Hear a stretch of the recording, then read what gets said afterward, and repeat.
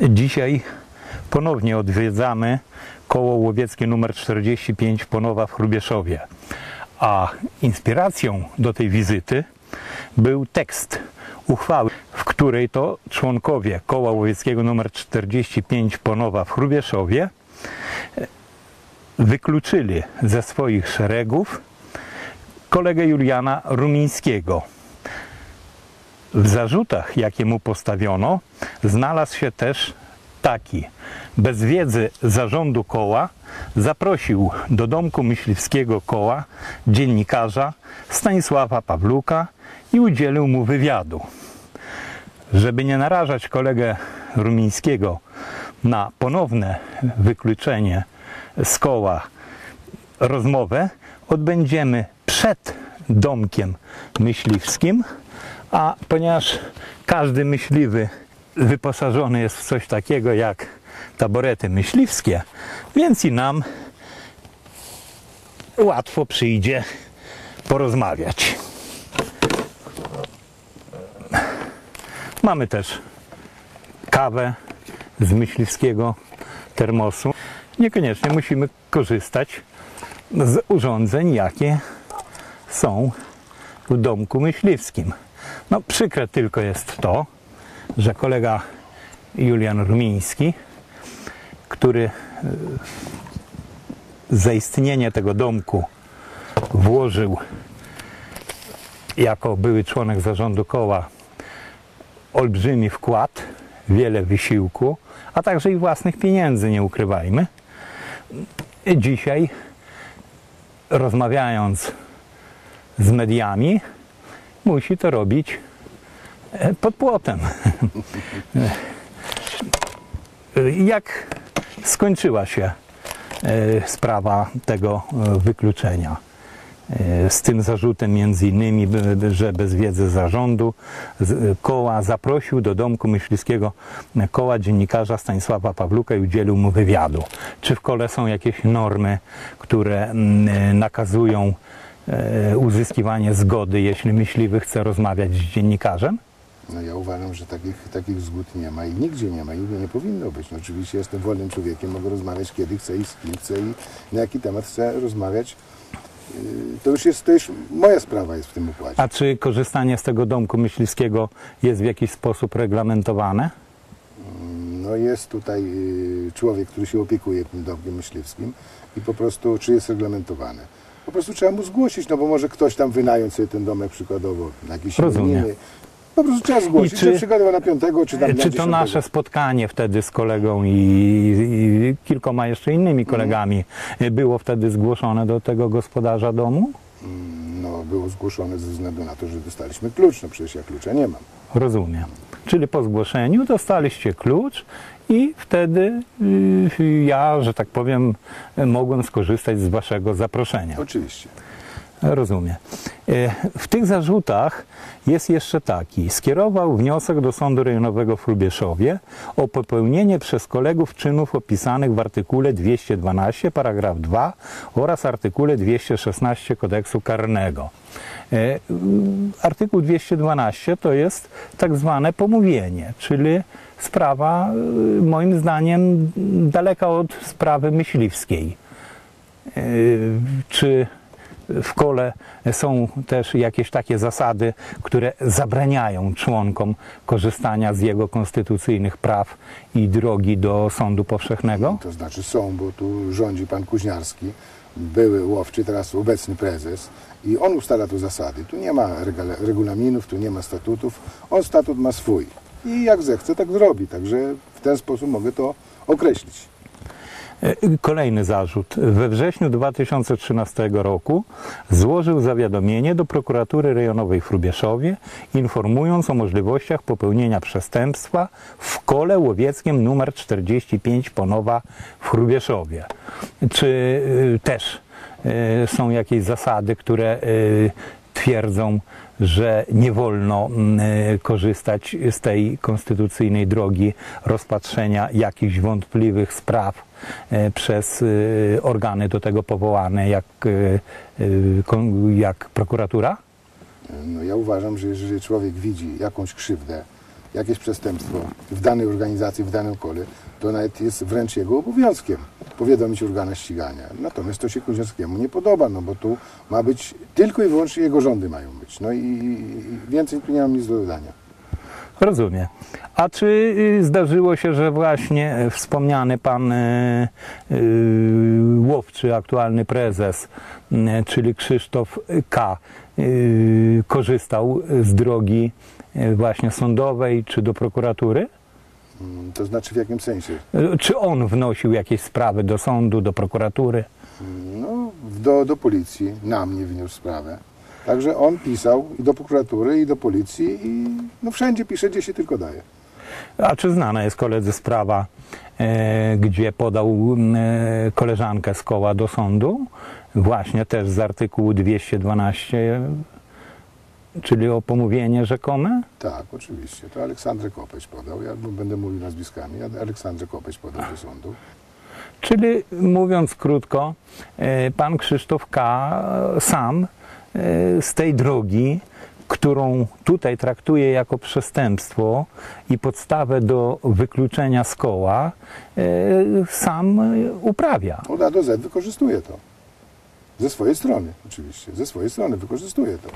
Jasne. Czyli można, konkludując ten wątek, e, e, stwierdzić, że mm, e, Krzysztofowi K. wolno donosić na policję i do prokuratury lub wnosić sprawy do sądu, natomiast wszystkim innym nie, ponieważ grozi im za to wykluczenie. No ja uważam, że tak jest. Między innymi na moim przykładzie to, że za, za takie rzeczy zostałem wykluczony i to już po, po raz drugi. Yy, zresztą z kolei. O te same zarzuty. Ta, o te same zarzuty, tak jest. No I może tam jeden dodany, więcej, mniej, no ale o te same, praktycznie o te same zarzuty. Y, I y, jak się skończyło to za tym drugim razem także? Za drugim razem, no to już jest uchwała zarządu okręgowego, yy, alu- a, a z tytułu nadzoru anuluje tą uchwałę walnego zgromadzenia, no i po prostu tej uchwały nie ma, tak jakby jej nie było w ogóle. Jestem dalej członkiem koła. Y, Kwestia mm, y, dzienniczka. O co tam chodziło? Po prostu y, koleżanka Aleksandra Kopeć, będąc na stażu, dostała dzienniczek stażysty. Wypełniała go sumiennie. Po prostu wszystkie czynności, które, które wykonywała, zostały wpisywane. No i na koniec oddała Kuźniarskiemu ten dzienniczek. Ze względu na to, że pojechała, y, było zgłoszenie już jej na y, kurs przygotowawczy i na egzamin, ona poprosiła o niego ten dzienniczek. On mówi, że gdzieś mu się zagubił. No jak się zagubił? Mówię, ja go oddałam. No to Kuźniarski na kolanie napisał drugi dzienniczek, spreparował wszystko, zgadzało się w tym, w tym drugim dzienniczku, który spreparował, może 10, może 12%, resztę to było wszystko z sufitu. No i sprawa poszła do sądu. Chrubieszowski sąd skarał tegoż pana z artykułu 270 yy, karą grzywny chyba 120 dniówek i całkowicie winien sfałszowania dzienniczka. Więc odwołał się do sądu okręgowego. Sąd okręgowy, to się działo 2000, koniec 2013 roku, sąd okręgowy yy, uniewinnił go z artykułu 270, bo powiedział, że on nie jest winien z artykułu 270, natomiast jest winien z artykułu 271. Ale, że prokurator nie wnosił zażalenia do sądu Chrubieszowskiego, więc oni nie mogą tego zmienić i został ten człowiek uniewinniony, bo on jest winien, sąd wyraźnie określił to, że jest winien z paragrafu 271. Więc ja nie rozumiem, jak policja i pod nadzorem prokuratury nie mają pojęcia y, ustalić y, y, przepisu, z jakiego trzeba karać tego człowieka, po prostu tego nie rozumiem, no ale Czy były w związku z takimi różnymi historiami w kole jakieś kontrole na przykład zarządu okręgowego? No, by, była kontrola komisji, Okręgowej Komisji Rewizyjnej. Y, w tej komisji był sekretarz zarządu okręgowego oraz pracownik etatowy Polskiego Związku Łowieckiego przy zarządzie okręgowym w Zamościu. I według mnie jest na to protokół. Ja uważam, że tam jest kłusownictwo. Ja powiedział, że to jest za późno. To żadne przestępstwo za późno.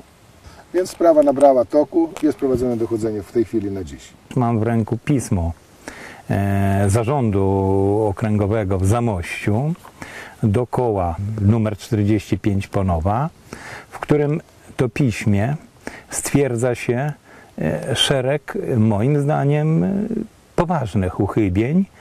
No i nakazuje ich usunięcie, a to między innymi brak książek ewidencji pobytu myśliwych na polowaniach indywidualnych. Stwierdza się, że z koła zginęło wiele dokumentów, między innymi deklaracje członkowskie oraz inne dokumenty poświadczające dokonanie wpłat i wypłat z kasy koła. Jest niewłaściwie prowadzona dokumentacja, brak pieczątek, brak upoważnień do wykonywania polowania, wadliwe wydawanie y, polowania indywidualnego. Ponowna kontrola, tak wynika z tego pisma, praktycznie potwierdziła brak protokołów czynności gospodarczych. Źle sporządzone są protokoły pobrania tusz na użytek własny, jakaś gra e, tak zwanymi odstrzałami, e, ponieważ e, jest wydawano kilka o tym samym numerze, Na, na, Co może na, dwa różne obwody. co mo- nie, niekoniecznie, co może sugerować, że ktoś polował bez uprawnień, a później bez upoważnienia, później mu wypisano e, upoważnienie, tylko nie już czasowo nie było gdzie wstawić. W związku z tym wstawiono takie numery, żeby daty jako tako grały. Jest szereg nieprawidłowości, no, między innymi y, Komisja zwróciła uwagę na fakt, że jeden myśliwy w ciągu bodajże dwóch godzin strzela sześć saren, co praktycznie jest niemożliwością fizyczną. Ewentualnie jest to polowanie nieetyczne. Mówiąc krótko, e, cała plejada zarzutów wyłania się z, tego, z tych protokołów moim poj- pojęciu bardzo, bardzo poważnych. E, Czy w związku z tym e, koło poniosło jakieś sankcje? Właśnie dlatego ja tak użyłem takiego słownictwa, że, że praktycznie kontrolowali nie wiedzieli, co kontrolują, bo nikt z tego tytułu nie, nic ani go nie, nikt nie ukarał, ani nikomu nikt uwagi nie zwrócił. Także to, co się dzieje, co się działo dalej, tak dzieje się do tej pory. Po prostu zmiana władz była, ale to między sobą się... I ja uważam, że za, za, zarząd okręgowy nawet palcem tu nie kiwnął w tym kierunku. Nic, dosłownie nic.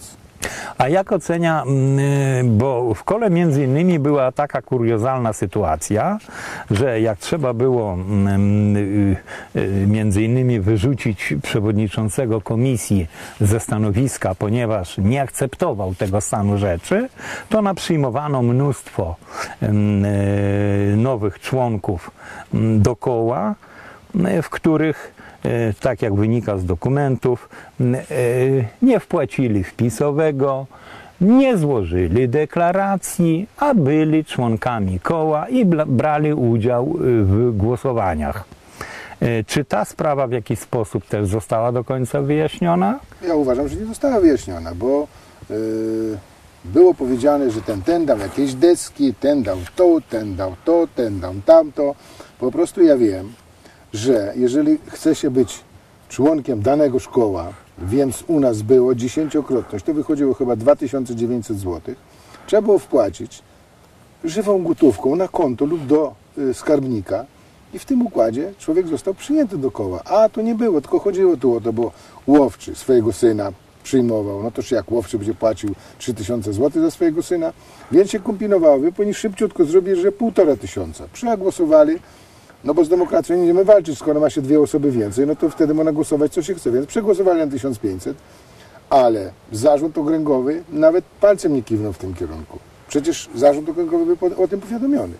No ale mam na przykład taki przykład, takie, mm, takie stwierdzenie w dokumentacji, że mm, e, policjant mm, e, z Komendy Powiatowej Policji w Hrubieszowie, Mróz Krzysztof, złożył oświadczenie o gotowości wykonania prac jako formę ekwiwalentu za wpisowe. I następnie, w późniejszym terminie, sporządzono protokół odbioru z wykonanych urządzeń myśliwskich jako wpisowe do koła, czy, czy te mm, y, urządzenia łowieckie, które niejako zostały wykonane w formie zastępczej, zawpisowe, to one mają jakąś y, taką wartość tego wpisowego, czy wydaje się to raczej nie bardzo? No ja uważam, ale zdanie jest moje, ja uważam, że one raczej nie mają tej wartości, ze względu na to, że te ambony, które są pobudowane, no to to są żadne ambony, to trzeba we dwóch. Jeden, wchodzi, a drugi niech trzyma, żeby nie spadł. Także to jest moje zdanie. Rozumiem. A były jakieś takie przypadki, że niektórym zaliczono wykonanie ambon, e, które już od 15 lat stoją e, w terenie. Mm, Czy, czy, czy to też jest takie dopuszczalne? No ja uważam, że nie jest dopuszczalne, bo, bo chyba to jest uchwała Rady y, Naczelnej, że ma być wpłacone w gotówce. A ile pieniędzy, no to wtedy walne zgromadzenie ustala sobie. Dziesięciokrotność, pięciokrotność, ośmiokrotność.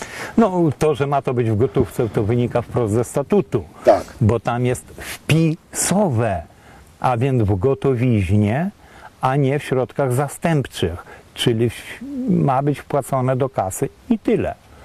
No, tutaj widocznie są jakieś No wiem, że, inne. ło- wiem, że łowczy okręgowy miał to wszystko na piśmie. Wiedział, no przecież chyba się na przepisach powinien znać, bierze pieniądze za to, jest pracownikiem etatowym.